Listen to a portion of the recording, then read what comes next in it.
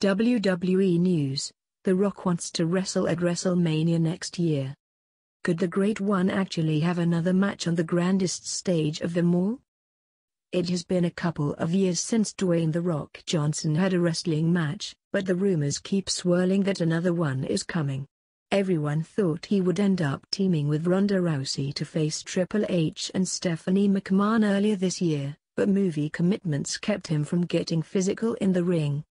Now, it appears as if it is time for the speculation to start up again, but some believe The Rock wrestling at WrestleMania 35 is a done deal. At WrestleMania 34, Rousey made her WWE in-ring debut and everyone originally thought The Rock would team up with her.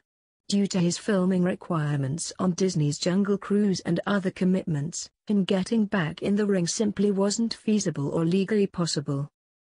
When he faced John Cena at WrestleMania 29, The Rock ended up suffering a torn pectoral muscle which caused problems and delays on the Hercules movie. Now, contracts are being drawn up that will stop that from happening again, but it appears The Rock is already making plans to wrestle next year. According to Wrestling Observer Radio, by way of Wrestling Incorporated, Dave Meltzer is saying that The Rock wants to get back in the ring and have a match at WrestleMania 35.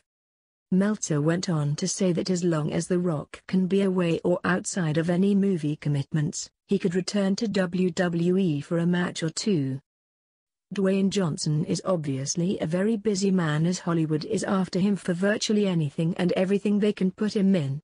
Meltzer says that he loves wrestling, though, and The Rock has not held it in that he isn't yet done in the ring or WWE. With WrestleMania still a number of months away, it is always possible that The Rock will have another movie commitment come up. If something really big comes his way, he's certainly not going to turn it down. Then again, if he has the chance to be in a huge match at the biggest WWE event of the year, it is very possible he could make another return to the ring.